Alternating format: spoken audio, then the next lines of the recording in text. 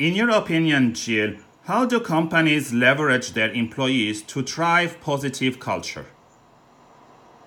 So, the first thing is to really talk about what culture is, right? Culture is something that exists whether people build it or don't build it. I often actually tell my clients that culture exists in the absence of even working on culture. That is in itself a culture. But culture is something that binds people together and helps people work toward a common goal.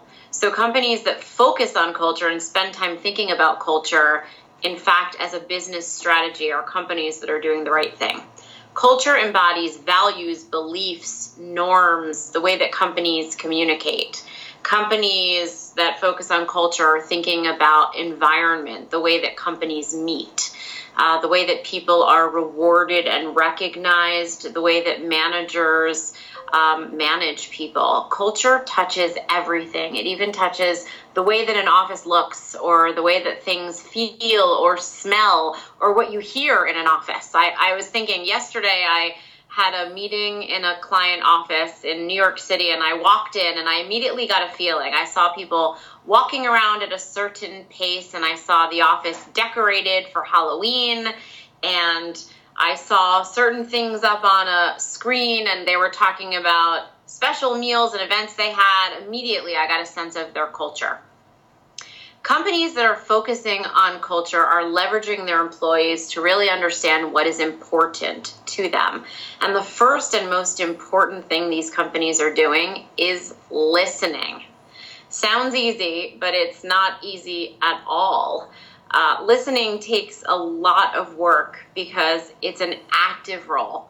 So it is about getting into the organization at multiple levels, truly asking the right questions finding out what is important to people, and then, in fact, being willing to put into action things that might be different or meaningful to the people in the organization that will start to enact change to make the place feel different or sound different or actually work in a different way for the people that live there.